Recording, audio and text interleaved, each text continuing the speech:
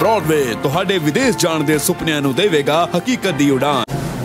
नमस्कार दोस्तों, मैं अमरजीत ब्रॉडवे इमिग्रेशन सर्विसेज़ से लगातार कोशिश होती है इस चैनल के ज़रिए यूके स्टडी वीज़ा को लेके हर लेटेस्ट इंपॉर्टेंट अपडेट आपसे शेयर करते रहे। सो यूके जनवरी इनटेक की अब रिक्रूटमेंट चल रही है और जो रिक्रूटमेंट मोस्ट लाइकली सितंबर एंड तक फिनिश हो जाएगी और ड्यूरिंग अगस्त आपको ऑप्शन ज़्यादा मिल सकती हैं और सितंबर में ऑप्शन बहुत कम हो जाएँगे।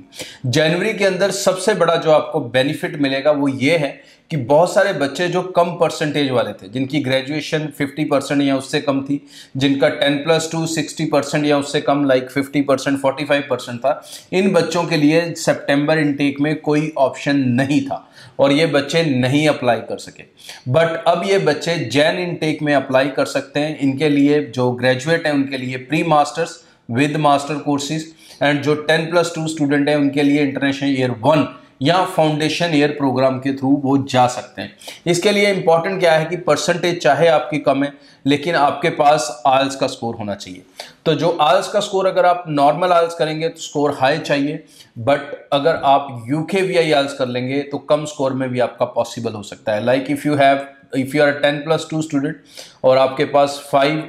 ईच बैंड है फाइव ओवरऑल हैं स्टिल फाउंडेशन प्रोग्राम के थ्रू जा सकते हैं। अगर आप एक मास्टर्स वाले स्टूडेंट हैं, आपके पास साढ़े पाँच ओवरऑल फाइव ईच हैं स्टिल आप प्री मास्टर के थ्रू जा सकते हैं। तो इस पॉसिबिलिटी को मिस ना करें, क्योंकि इसमें किसी भी तरह की वीज़ा कैटेगरी को लेके कोई प्रॉब्लम नहीं है। प्री मास्टर वाले बंदे विद मास्टर प्रोग्राम जाएँगे प्रोग्राम पौने दो साल का हो जाएगा तो उनका स्पाउस को भी वर्क परमिट उतना ही लंबा मिलेगा, उनके बच्चे भी जा सकते हैं तो सारी फैमिली जा सकती है उसमें। और जो प्लस टू वाले स्टूडेंट हैं दैट डिपेंड्स कि उनका आयल्स का स्कोर यूके वीआई का कितना होगा उसी के हिसाब से इंटरनेशनल ईयर वन लगता है तो आपका कोर्स तीन साल का रहेगा, कोई इफ़ेक्ट नहीं है। बट अगर आपका ज़्यादा कम हुआ तो आपको फाउंडेशन प्रोग्राम लगेगा, जिसमें आपका जो डिग्री कोर्स है वो एक साल और बढ़कर चार साल का हो जाएगा। तो अपने कन्फ्यूज़न और डाउट्स को दूर रखना चाहते हैं तो इमीडिएटली ब्रॉडवे की टीम से कॉन्टैक्ट कर लें। अलग अलग स्टेट्स में हमारे ऑफ़िस हैं, जम्मू में, पंजाब में, हरियाणा में न्यू दिल्ली एंड गुजरात तो आप टीम से मिलकर अपनी एप्लीकेशंस को जल्दी से शुरू कर लें अगर आप कहीं और से भी अप्लाई करना चाहते हैं तब भी मैं कहूंगा दोस्तों कि टाइम से अप्लाई कर लो बिकॉज सीट अवेलेबिलिटी इस बार मुश्किल होगी कनाडा से आ रहा इतना ज़्यादा रिफ्यूज़ल ऑस्ट्रेलिया से आ इतना ज़्यादा बैकलॉग्स के कारण बहुत ज़्यादा रश अब यूके की तरफ